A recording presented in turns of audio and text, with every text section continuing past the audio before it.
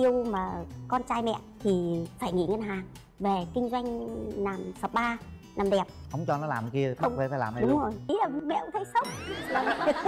Không biết làm gì luôn hả? Không không biết rửa bát không biết nấu cơm. Đấy. Vậy thì mẹ phải chọn đi giờ là chọn con dâu nấu cơm rửa bát hay là chọn con dâu làm kinh tế tốt? Không biết quét nhà. Không biết luôn.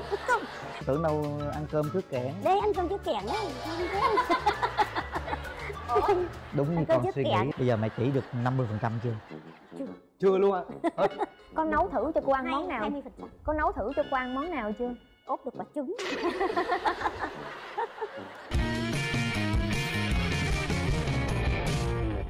Cô Linh xin kính chào quý vị. Và ngày hôm nay chúng ta tiếp tục gặp mẹ chồng nàng dâu đến từ Quảng Ninh. À, Xin chào à, chào chị. chào à, chào con Dạ vâng ạ, con chào à, chú ạ, em chào chị. Ngày hôm nay thì gia đình em có một à, món quà dành tặng cho chủ nhà ạ. Dạ, Rồi. đây là gì vậy ạ? Cảm ơn. Dạ. Đây là của nhà mình hả cô Dạ. hả? vâng đúng rồi ạ. Dạ con cảm ơn cô. Rồi, cảm ơn gia đình rất nhiều nhé Quảng Ninh xa xôi đến thành phố Hồ Chí Minh cảm giác thế nào chị? em cũng rất là thích vào trong này sinh sống từ cũng từ cách đây chục năm rồi đấy. À, nhưng mà vì ờ, ở ngoài đó là công việc nó nhiều quá không thu xếp được. Chương trình mẹ chồng nàng dâu rất là vui khi đón tiếp gia đình đến tham gia chương trình. Bây giờ xin mời chị giới thiệu về mình cho khán giả truyền hình cùng biết ạ. Em tên là ngát. Em là người ở quảng ninh Chị làm công việc gì? em ờ, chuyên kinh doanh về nhà hàng khách sạn. À, vậy là có mấy nhà hàng, mấy khách sạn ở, ở Ừ. Quảng Ninh đúng không? Trên cả nước. ba ba bốn cái. Ở đông triều xong lại ờ, về cẩm phả. À, hạ long. Wow, giỏi quá thì làm ờ, chuyên về khách sạn với ờ, hàng ăn mấy À. chục năm rồi. Dạ. từ lúc còn trẻ cơ. Hôm nào ra Quảng Ninh Linh sẽ ghé nhà hàng khách sạn ăn uống nha. Chắc cũng giảm giá một bớt. Mấy chục năm rồi ờ, em toàn kinh doanh về cái ngành này thôi. Ừ, giỏi sau cách đây chục năm thì nghĩ là mình làm hàng ăn rồi khách sạn nó vất vả. Ừ. thế có hai thằng con trai thì bảo là tới đây là mình sẽ thêm cái ngành ờ, sản xuất về mỹ phẩm Ừ. làm đẹp cho các chị em. Giỏi quá. Thế cho nên là mới ờ, lúc ấy chưa có con dâu nào năm 2013 ấy. Dạ. là em đã bắt đầu đầu tư vào thêm cái mảng mỹ phẩm nữa. Chị có mấy người con? Em có hai ờ, hai thằng con trai. Hai thằng trai luôn. Ừ. rồi vậy là mấy cô dâu rồi? Hai rồi. Hai luôn hả à vậy là khỏe là- rồi. Đây là cô dâu lớn hay dâu nhỏ là cô? cô dâu nhỏ. Ồ vậy là có kinh nghiệm làm mẹ chồng rồi. À, à, Em tên là Lưu Minh Phương, em sinh năm 1997 Trước đây thì em là gốc tại Hà Nội Nhưng Dạ. mà em về làm dâu của mẹ em là tại Quảng Ninh. Làm dâu lâu chưa? Dạ, Em mới làm dâu được à, một năm rưỡi ạ Chắc cũng phụ mẹ pha quán xuyến đồ cũng nhiều lắm đúng không? có cháu Nhà chưa? Hàng. Dạ. Có rồi ạ. em có rồi ạ. Cháu em năm nay là được à, 9 tháng ạ. Trai hay gái? Dạ con trai ạ. Ồ chúc mừng luôn. À, chị về làm dâu một năm rưỡi rồi. Trước đó thì khi mà con dâu nó về ra mắt chị mà khi mình mình mới biết là con dâu đó thì mình ấn tượng điều gì với cô gái này? Thằng con trai về đó giới thiệu rồi bảo là con tìm được một người mà mẹ cũng mong muốn là cái ngành mình ờ, chuẩn bị đầu tư cách đây ờ, cách đây gần chục năm rồi. Cũng chỉ mong là các con tìm một người vợ nó phải là về ngành làm đẹp. Đấy.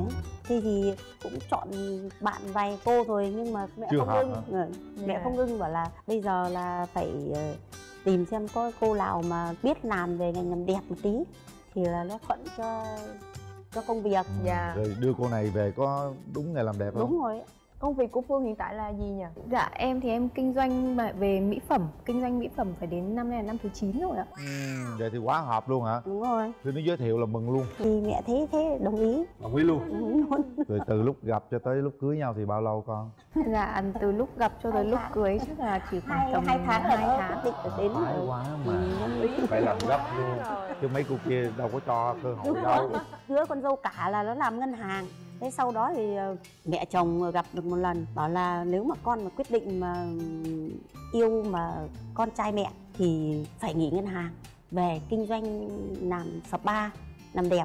Không cho nó làm kia bắt Không. phải phải làm này đúng luôn rồi ý là đồng ý thì mẹ quyết định cưới. À. Còn không ý thì thôi. Trời ơi. Nói chuyện đúng hôm ờ, chiều hôm mùng 1 Tết của năm 2016 ấy, thế là con dâu đồng ý luôn. Bảo vâng thế thì để mẹ lên xin phép bố cho đi chơi cùng mẹ một hai hôm để đi ờ, nói tiếp cận để xem con Tìm như hiểu nào. tìm hiểu. À, Ừ. thế là cho đi cho đi hai hôm xin lên xin bố. Dạ. Đây là con dâu là mẹ ừ, cũng mất sớm. Dạ. còn mỗi ông là trông nó mới được có mấy tuổi thôi. Ừ. là mẹ đã mất rồi.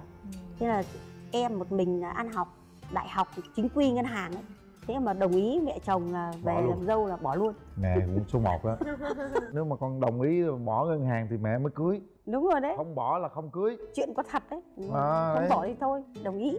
Thì mẹ quyết định thì mà là mẹ đồng ý mới được tháng 2 à, bây giờ tháng 1 tháng 2 là cưới luôn. Nhưng mà lúc phương nhìn thấy mẹ mẹ chồng tương lai đó phương cảm giác như thế nào? Khi mà em tiếp xúc với mẹ em lần đầu tiên ấy thì em thấy là hai mẹ con khá là hợp nhau trong khoản là về về mảng mỹ phẩm tức là hai mẹ con ngồi ăn mà không không, không ăn luôn cứ ngồi nói chuyện về mỹ phẩm thôi. Vâng nên là đẹp. thấy là hai mẹ con rất là hợp nhau. Là đúng sở sở thích của mẹ luôn. Dạ Và là vâng nói chuyện rất là hợp luôn đúng không? Vâng rồi nhưng mà sau đó về làm dâu á có hợp không? Về làm dâu thì được ờ, mấy hôm thì thì bắt đầu là thấy con thì công việc thì chưa biết làm cái gì mấy. Chẳng hạn như là ngành làm đẹp ấy thì biết làm Ờ, bán hàng mỹ phẩm thì biết làm. Thế nhưng mà những cái việc lặt vặt trong gia đình không biết làm. Nó biết bán thôi chứ mấy cái đó nó cần làm đâu mình có người làm mà. Thế mình có người làm nhưng mà ý là mẹ cũng thấy sốc. Không biết làm gì luôn hả? Không không biết rửa bát không biết nấu cơm. Đấy. Vậy thì mẹ phải chọn đi giờ là chọn con dâu nấu cơm rửa bát hay là chọn con dâu làm kinh tế tốt? Không biết quét nhà. Không biết luôn. Chồng quá hả? Đúng rồi. thế bảo ôi rồi không biết cái gì thì con không con rửa bát mà con rửa như lay thì làm sao mà được. Vậy là phải về Mẹ. phải chỉ giải lại hả đúng. Cô? rồi mẹ bắt đầu đứng dậy từ đầu đến cuối. Ngày nào cũng thế thì mẹ lại phải xông vào lấy để rửa để Dạ. cho con đứng con xem. Dạ. Rồi tới bây giờ thì công việc thành thạo hết chưa cô cũng cũng gọi là tạm tạm ạ năm rưỡi thôi mà chưa rửa chén hoàn hảo nữa đó hả? Gọi là tạm thôi. Rửa mẹ thấy làm chậm mẹ là vẫn phải làm. Bây giờ thế. Hai mẹ con ở với nhau được năm rưỡi đúng không cô? Dạ vâng ạ. mà con trai hả? Hả, hả phương? Dạ vâng ạ. được 9 tháng.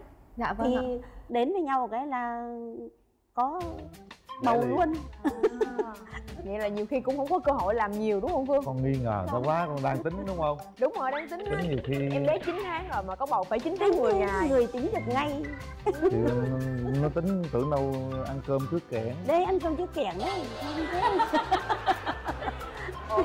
đúng như con trước suy nghĩ. kẻng thế là thấy thế cũng may quá. Thôi đằng nào cũng thế. Mẹ chồng cũng vậy. Thức thời thì cũng thôi cho nhanh dạ. Thằng cua hay lắm hôm nay không cho nó lên đây. À rồi à. khi mà con làm như vậy không được á mẹ con cứ kêu đi làm làm đi làm lại. Mẹ con có la con không? Đầu tiên thì con cũng thấy là ờ, nó cũng hơi khó. Tại vì là lúc mà con ở nhà ngày xưa là bố mẹ con chiều con lắm là không có phải làm gì cả nấu cơm rửa bát quét nhà là không có phải làm gì hết. Cho nên là lúc mà về ờ, làm dâu là nhiều khi là mẹ con chỉ dạy là nhiều khi con hơi khó tiếp thu. Khó tiếp thu. Có bao giờ mẹ nói quá con quào với mẹ mẹ có nói quá nhưng mà con không không dám quạo quạo. Không dám quào thôi chứ không phải quào có khó chịu nhưng không dám tỏ ra khó chịu. Đúng không đó bây giờ mẹ chỉ được 50% phần trăm chưa? Chưa. chưa luôn à con nấu thử cho cô ăn món nào? hai mươi phần trăm. Có nấu thử cho cô ăn món nào chưa? Ốp được quả trứng. Thôi còn đâu là vui rồi cô là dạ nhà mình là nhà hàng ấy. Dạ. Cơm từ ngày về làm dâu là có nhân viên. Có À, nhân viên nhà hàng đông. Dạ. Thì là cứ bụng to rồi thì là chả làm được cái gì Ủa, nhưng mà cơm là cứ bưng đến tận nhưng nơi. mà như vậy thì cũng thông cảm nó bởi vì nó sinh con xong mới đám cưới mà đúng không? Đúng rồi. Thì nó cũng đâu có biết rồi gì. là dịch nhé. Đâu có dịch việc xong rồi gì đâu biết làm cưới. việc nhà đâu chỉ có tập trung để học cách chăm con đâu có học cách nấu ăn cho mẹ chồng đâu đúng rồi đúng không? Với cả ở nhà thì có đầu bếp bếp trưởng nhiều càng không phải làm thì càng không biết làm. Chú sinh con sau đám cưới chắc vui lắm con hả? Khi đám cưới thì có ẩm bé lên không? Dạ có ạ. Con cho cả À. bé lên luôn trời cưng dữ lắm luôn hả? Vâng. Lúc đó chắc ờ, bà Thằng con vỗ hay tay lắm. bà nội hạnh phúc ha ừ. vừa rồi thì hết dịch mới cưới được sống nhau một năm rưỡi á con thấy con hợp với mẹ tính gì con cảm thấy là con với mẹ hợp nhau về mảng à, công việc mỹ phẩm á. mà mỹ phẩm Chứ thôi còn à, tất cả các mảng khác thì, thì không? Đúng không tại vì mẹ mẹ con thì rất là ngăn nắp và rất là sạch sẽ. Làm nhà hàng làm mà. nhà hàng. Thì đúng như mẹ mong muốn rồi mẹ muốn con làm mỹ phẩm thì chỉ có mỹ phẩm thôi. Đúng còn rồi. chuyện khác thì kệ nó. Đúng rồi nó làm được không được thì thôi. Đúng rồi mẹ mong muốn là thừa kế được cái công việc mà mẹ đã À. gọi là mơ ước Dạ. từ hồi trẻ đấy vậy thì nó nấu là ăn em rất là mơ ước là sau này mình làm cái công việc mỹ phẩm đó dạ. thế nhưng mà vì cái lúc đấy là cái thời thế nó khác cái ngành đó nó không thích hợp mà mình phải cái ngành khác thì Thì mới nó kiếm được đó. cuộc sống thế là bắt đầu đi toàn vào khách sạn nhà hàng thôi từ ngày đó nó cứ đi theo cái guồng đấy Dạ. thế đến khi mà năm 2013 đấy thằng lớn học xong đại học rồi thằng bé thì mới học lớp ờ, 9 lớp 10 gì ấy. thì bây giờ thôi mẹ ờ, quyết định đầu tư sang một cái mảng này để chờ sau này có con dâu thì nó về nó tiếp tiếp cận thôi. Nhưng mà con dâu này về thì về Con công dâu- việc đó thì vâng. có có phù hợp có có hài lòng cô chưa? Cũng hài lòng về công việc gọi là cũng biết bán hàng. Hôm nay thì à, cô à, hôm nay cô có thể chia sẻ cái lần đầu tiên mà ấn tượng cô gặp con dâu tương lai của mình như thế nào? Thì à, nói chung là khi mình có con thì mình cũng rất là thương con. Rồi à, cũng như là mình cũng để cho con nó tự quyết định thì à, tự nó chọn. Thì mình thì chỉ có à, góp ý thôi. Rồi khi mà nó nó dẫn một bé này về thì mình thấy nó cũng xinh xắn và nó cũng rất là vui vẻ. Rồi nói chung là nó cũng biết tôn trọng người lớn á thành ra mình cảm thấy cũng thích. Đó là ấn tượng đầu tiên à, đẹp. Dạ cái ấn tượng đầu tiên của chị với mẹ chồng như thế nào? Ờ, lần đầu tiên mà về nhà mẹ chồng á là đi chung với một tốp bạn một tốp bạn mà học đại học á. À. thì mình cũng biết là cái anh này nó địa mình rồi nè. Cho nên mình bị khớp. Lúc đó mình chưa có thương ảnh đâu nhưng mà mình bị khớp. Cái mẹ mới mời ăn. Thì mấy đứa bạn của mình nó vô tư mà nó ăn còn mình không dám ăn. Mình mắc cỡ. Nhưng mà trong cái quá trình giao tiếp á, thì thấy mẹ rất là hiền ờ, phúc hậu lắm cho nên mình cũng thấy quý. Nhưng mà sau đó về những ngày đầu tiên làm dâu đó nó có gặp trở ngại gì không cô? Thì nói đúng là con dâu tôi thì nó không có làm dâu. Tại vì à, nó ở trên thành phố á rồi nó đi làm luôn. Thành ra cưới thì cũng cũng rước dâu về. Rồi hai ngày sau thì nó cũng trở quay trở về thành phố Thành những ra cái hợp nhau giữa mẹ chồng nàng dâu như thế nào? Thì nó đúng là con dâu tôi nó hợp tôi cái chỗ là nó biết dung dáng và chăm sóc cho gia đình. Nó quan tâm tới ờ, cha mẹ rồi chồng. Thì nó giống tôi ở điểm đó thì tôi cũng chị thấy thích ở mẹ chồng mình điểm gì nhất? Thích hả? Nhiều cái thích lắm. Ví dụ? Ví dụ. Ví dụ như mẹ hiền nè mẹ dễ thương nè mẹ chiều con dâu nè. Ờm, mình thì ở thành phố như mình có những cái ừm, nó hiện đại hơn. Nhưng mà khi mình về dưới quê đó thì mẹ cũng chịu thay đổi theo cái của mình. Chẳng hạn như mình nói ờ mẹ nên thay đổi như vậy nó sẽ tốt hơn hay nó hiện đại hơn. Thì mẹ cũng đồng ý thay đổi nữa. Cho nên là rất là thích. Với lại bà nội cưng cháu nội lắm. Nè hả? Mỗi lần mà bà nội lên sài gòn là sung sướng vô cùng. Vậy bà thì nội có, giúp được nhiều lắm. Dạ. Vậy thì có những cái điểm nào mà chị chưa thích ở mẹ chồng không? Ừm. Giờ không biết nói sao nữa. À có cái là vậy. Mẹ chồng á ừm, hay nghĩ cho người khác á lúc nào cũng sợ ừm, làm người khác buồn sợ. Chung là cứ sợ vậy đó cho nên là mẹ sống mẹ hay bị thiệt thòi lắm. Cho nên từ cái đó mình thấy mình cũng rất là thương mẹ. Còn một cái nữa là mẹ hay coi sách sách tử vi gì đó. À, Ờ, mẹ hay coi lắm. Cái mẹ coi cái thấy năm đó mà không tốt cái mẹ buồn. Mẹ nói không được làm cái này không được làm cái nọ giống như mẹ coi sách xong mẹ nói thằng út á ba chục tuổi mới được lấy vợ không cho lấy vợ sớm hơn. Tin gì đoan quá ha chắc cũng hơi hơi. Cô cô thấy mình không hợp với con dâu điều gì? Thì nói chung là cũng không có gì là không hợp. Tại vì à, mình là mẹ mà thì à, mình cũng phải chỉ bảo con rồi hướng dẫn con nó làm đúng theo có khi ý ý của mình rồi ừ, ví dụ thay đổi theo ý của nó thì mình cũng cũng muốn hòa đồng theo vậy thôi chứ còn không có gì là không hòa hợp ví dụ như em muốn ờ, mẹ chồng thay đổi theo thích nghi theo cái của, của mình hả? Nhưng sao mình không nghĩ là mình phải thích nghi theo cái cách của mẹ chồng ở dưới quê? Có chứ em về quê là em theo cái kiểu của mẹ. À. nhưng mà là chẳng hạn như hồi đó giờ mẹ ở nhà mẹ ở trong vuông á lo cho út thôi à mẹ không có ra ngoài nhiều. Thế là về bắt đầu dẫn mẹ đi cà phê dẫn mẹ đi chơi chỗ này chỗ nọ để mẹ biết được nhiều chỗ hơn. Đó tiếp nhận những cái mới. Vậy À. thì không biết là hai mẹ con có hay cái có mâu thuẫn gì với nhau không? Mặc dù là ở xa nhau thì không biết có mâu thuẫn gì không chị? Không. Nếu mà đúng đúng nghĩa của cái từ mâu thuẫn thì không có mâu thuẫn gì hết á. Những cái gì Vậy- mà nó chưa hợp nhau lắm á à, em chỉ có một cái kỷ niệm này thôi. Nó cũng không phải là mâu thuẫn mà cũng không phải là không hợp đó nó là vậy nè? Hồi em có thai em bé đó. Cái như là em bé đầu lòng. Thì mình thì đứa đầu mà mình mình suy nghĩ mình sắm cái này cái nọ cái kia. Mình tưởng tượng đủ thứ hết trơn á lên mạng search rồi đi coi này nọ. Cái mình nói ờ, chắc mua cái áo đầm bầu này đẹp mặc để đi chơi vậy đó. Cái mẹ nói con có nhiều ờ, cái đầm mà phơm rộng rồi tại đó, đợt đó là model phơm rộng á. Cái là mẹ nói thôi đừng mua nữa mặc cái đó cho tiết kiệm. Tuồn vì tôi cảm xúc. Rồi cũng thôi không mua. Thì mình biết mẹ cũng muốn tiết kiệm cho mình vậy đó. Rồi ờ, tới lúc đi mua đồ cho em bé em thì thích mua nhiều mà mẹ thì mua ít. Cái mẹ mua mỗi thứ bốn món cái về suy nghĩ hoài. Mẹ mua ít quá con giặt không kịp sao nó khô mà em bé mặc. Cái tự nhiên lúc đó mình có có bé mà cái mình đầu óc mình tự nhiên nó cứ suy nghĩ vậy đó. Cái cái em kiểm chứng được một vấn đề là khi em sanh con em ra rồi em nhìn nó trời ơi nó y bà nội. Trời ơi là sao chị? Nó sao y bản chánh nó giống rặt bà nội luôn.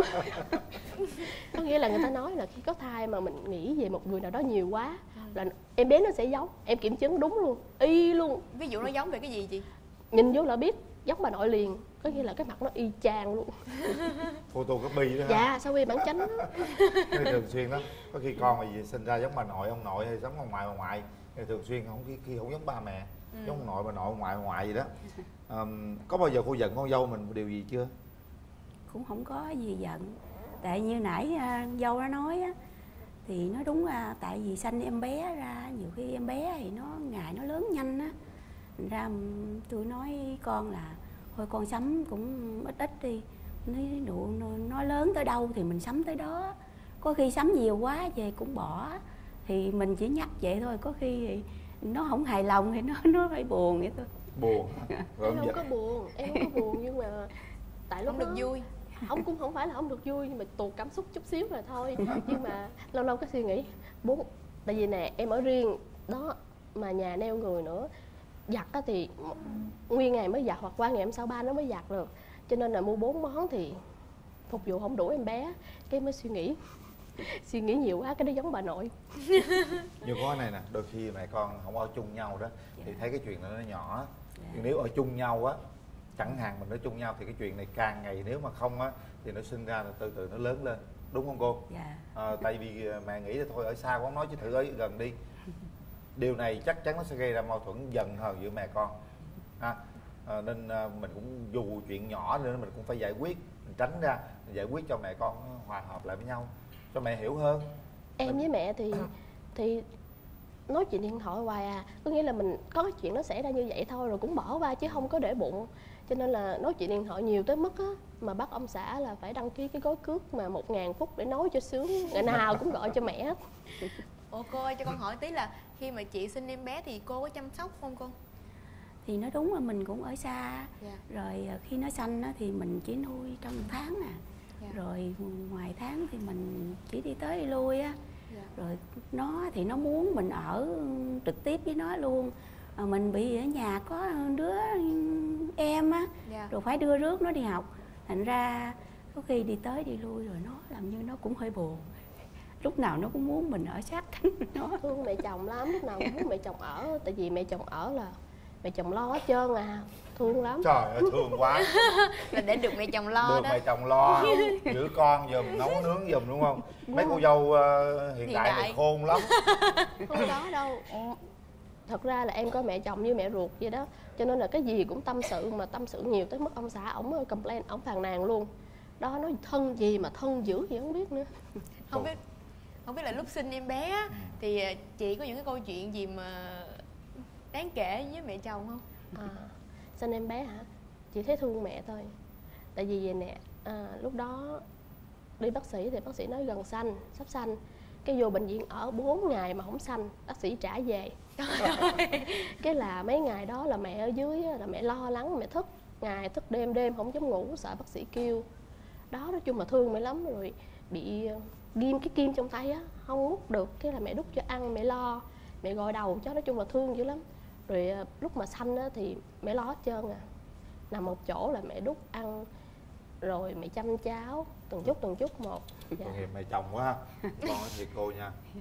Nói thiệt nha con dâu đừng giấu nha. Con dâu cô có tật xấu gì? Không nó trẻ con lắm. Ừ. sao? Có tật xấu gì không đống luôn. Nhiều quá giờ cũng không biết không Hãy nhớ kể một gì vài nữa. cái thôi nghe chơi thôi mày vui mà. Để rút kinh nghiệm thôi. Thử xem.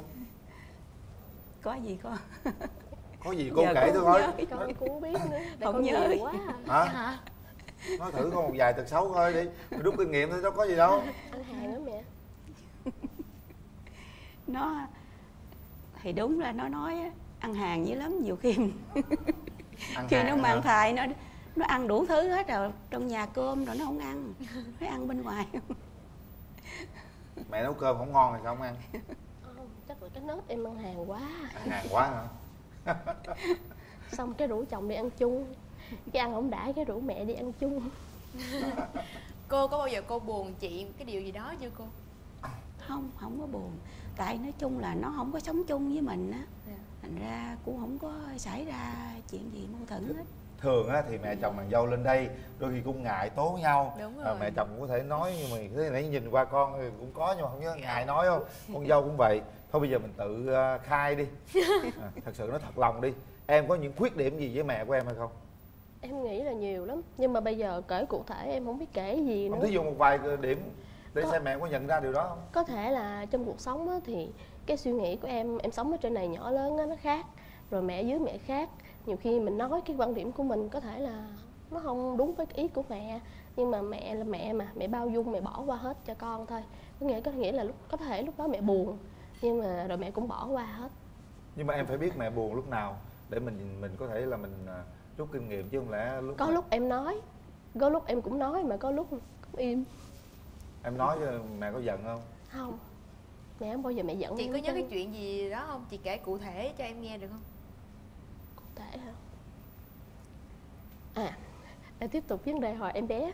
À. um, bà ngoại mua ở bà nội mua đó mỗi mỗi mỗi loại bà nội mua một một vài cái thôi. Cái um, đợt đó cái ông ngoại ông ngoại cũng thiệt tình. Ông ngoại mới hỏi là um, sắm đủ chưa? Rồi cái uh, mình mới cũng thiệt tình mình trả lời như vậy.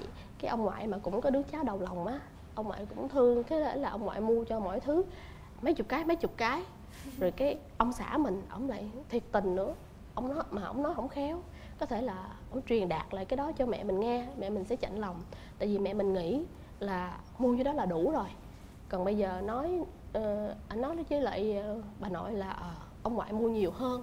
Mình nghĩ có thể cái đó làm bà nội chạnh lòng mà bà nội không nói ra. Bà nội cũng bỏ qua cho con. Ở nhà chị có hợp với gia đình chồng không ta? Không biết có hợp không mà ra đường ta tưởng hai mẹ con rượu không á. Ồ vậy hả?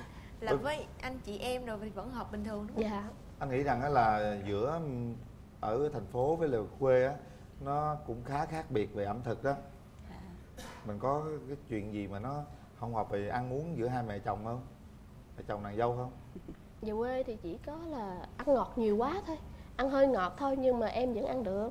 Ăn được. Dạ. Khi nào em nấu cách ở thành phố cho mẹ chồng ăn không? Dạ có chứ. Mẹ cũng ráng mẹ ăn cho em vui. Ồ ráng ăn là sao chị? Có thể là không hợp khẩu vị với mẹ. À nhưng mà mẹ cũng thương mình là xuống bếp nấu cho nên là mẹ cũng ăn.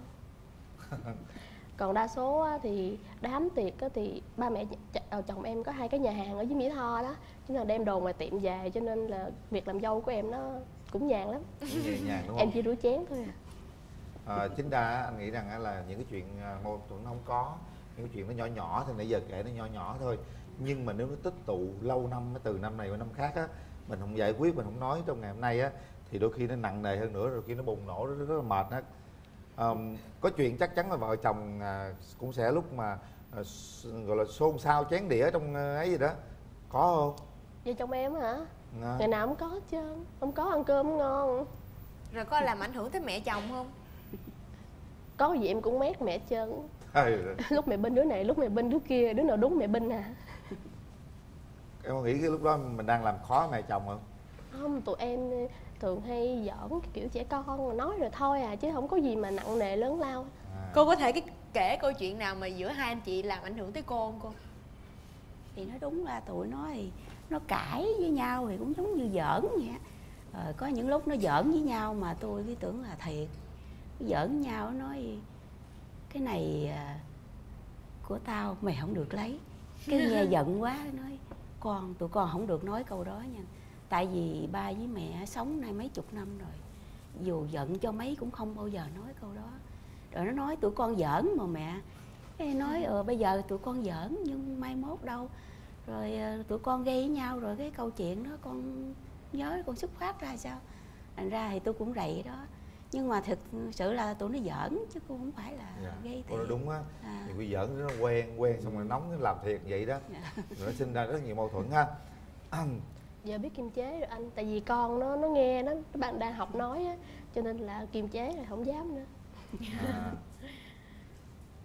tại vì tụi em học chung đại học mà học chung mấy năm rồi mới cưới. Cho nên là cứ giỡn như hồi xưa vậy đó. Nhưng mà chắc chắn có bữa nào mà cãi thật chứ Ồ thì cãi thì cãi là thôi à, bỏ liền đó à chứ không có để bụng. Dạ không có như tụi đôi em khi không mà có con cái mà cãi nhau hoài đó thì ba mẹ cũng khó chịu đúng không ha? Cũng tránh để cãi nhau cho ba mẹ biết ha. Rồi hai người thì cũng ít mâu thuẫn quá. Để mình nghe chồng của em ờ, có nhận ra cái mâu thuẫn nào giữa hai mẹ chồng nàng dâu không? Xin mời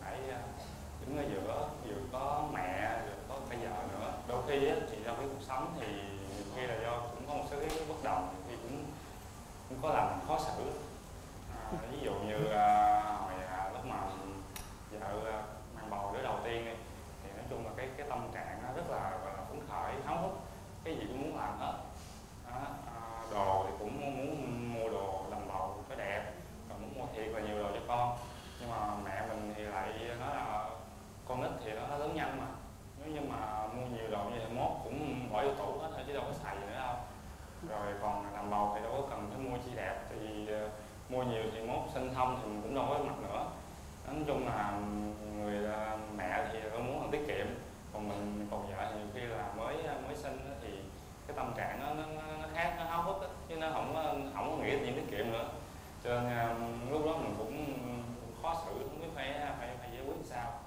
ngoài ra nữa là do là như mình thì nhà ở thành phố mình sống thành phố nhỏ lớn rồi mẹ thì dưới quê đó, thì người thành phố như vợ mình thì ở thành phố nhưng mà nghe nói về quê thích lắm về quê ờ, thường về quê hoài à. nhưng mà ở dưới quê nhiều khi là đám dỗ đám ngoại nữa nó nhiều đó thì cứ mỗi lần về cứ nghĩ tới chuyện ờ, dọn dẹp thì rửa chén không là thấy cũng nhức đầu nghe thấy sợ rồi nhưng mà cũng phải ráng rửa cũng phải khuyên bảo vợ thôi ráng à, ráng phụ giúp à, mẹ em vậy à, mốt có gì à, mẹ lên mẹ coi cháu nội giùm à,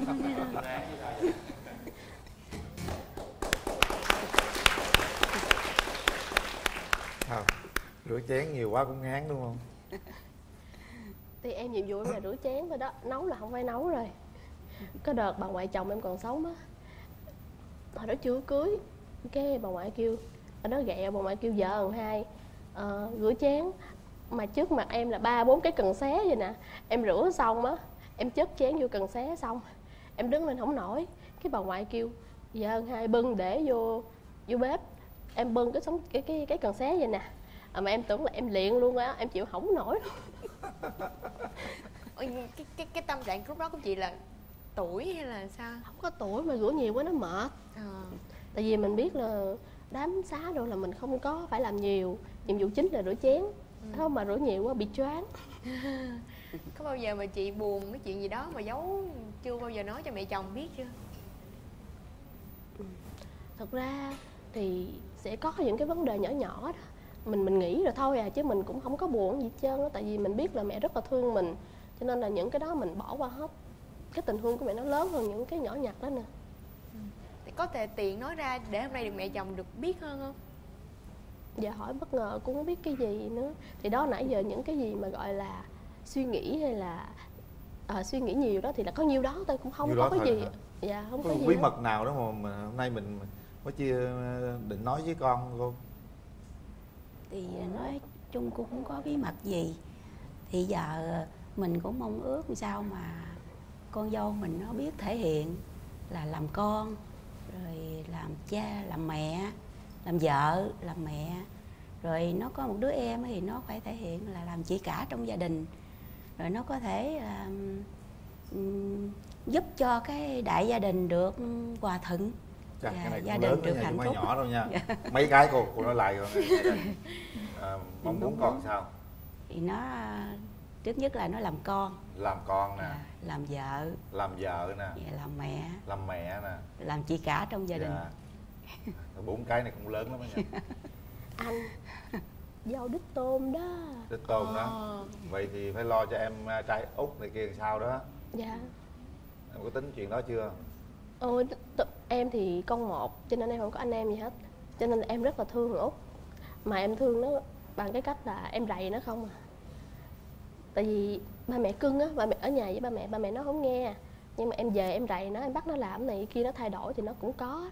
Nhưng mà tới giờ nó lờn rồi nó hết nghe rồi à, qua cái câu chuyện mẹ mong muốn thì hình như là trong sâu thẳm của mẹ cũng mong muốn em à, hướng đến những cái điều mà nãy mẹ em nói đó. Mặc dù ở xa nhưng vẫn luôn luôn thể hiện hồi nãy cô nói thể hiện đúng không Dạ, cô? thể hiện. thể hiện tất cả điều đó cho mẹ thấy cho em thấy. Chứ đôi khi nhiều khi mẹ không nói nhưng mà để trong lòng đó. Em thấy sao? Hình như chưa Em- thể hiện đúng không? Em không biết em nghĩ là có nhưng mà chắc nó chưa đủ để mẹ cảm nhận được là em làm mọi chuyện bằng cái tấm lòng của em. Thì em sẽ rút kinh nghiệm sẽ thể hiện nhiều hơn để cho mẹ thấy nữa. Ừ, mẹ muốn thể hiện cho rõ hơn. Dạ. đôi khi mình để lâu lâu sài gòn về rồi cái mình không rửa chén đi qua lại không thể hiện với ai hết. Thì cái này đôi khi mẹ cũng buồn ha. Ờ, không biết chị có điều gì muốn nói nữa không? Muốn nói hả? Chị muốn nói là không biết là trong cái quá trình lúc mà quen ảnh á Dạ. sau đó về làm dâu được 3 năm thì những cái mà mình thể hiện mẹ có cảm nhận được là mình rất là thương mẹ hay là không nữa? Hay là giờ phải nói cho mọi người biết là con rất là thương mẹ? Hồi nãy mẹ mới nói đó con cần thể hiện hơn nhiều hơn nữa. Nếu mà không chú ý mình cứ ôi sao nhỏ mà nhỏ nhỏ nó thành lớn thì cũng mệt lắm ha. À, cảm ơn cô rất nhiều về cuộc trò chuyện ngày hôm nay. À, chúc cho mẹ chồng và nàng dâu mãi mãi yêu thương nhau mãi mãi không bao giờ có những cái mâu thuẫn nào xung đột hay là cái ủng khúc nào xung quanh gia đình cả à, bây giờ thì à, mình có nói gì với mẹ chồng trong giây phút này không? Ừ, nói hả? Ờ, con muốn nói với mẹ là con sẽ tiếp thu những cái ờ, góp ý của mẹ rồi con sẽ cố gắng thay đổi. Muốn nói nữa là con rất là thương mẹ. À, mẹ muốn nói gì con dâu không nói đi. Mẹ thì lúc nào cũng coi con như là con gái. À, hai mẹ con ôm chặt nhau nào? Có những lúc mình quên nói là con dâu luôn á. Ừ, có dặn nó dò nữa không? Coi con gái thì dặn dò đi cô. Giống như nãy cô nói vậy đó. Thì à, nếu mà con gái á, thì nó phải à, biết chú ý và quan tâm mẹ nhiều hơn. Đó. nhớ nha chú ý và quan tâm mẹ nhiều hơn. Điều này mẹ rất cần đấy. Chứ không phải lâu lâu về rồi không có quan tâm gọi điện thoại nhiều khi nói chuyện gì trên trời dưới đất không mà không quan tâm với mẹ hỏi mẹ khỏe không? Mẹ muốn ăn gì không? Mẹ uh, hôm nay có buồn vui gì không? Phải ờ, quan tâm chút xíu nữa ha.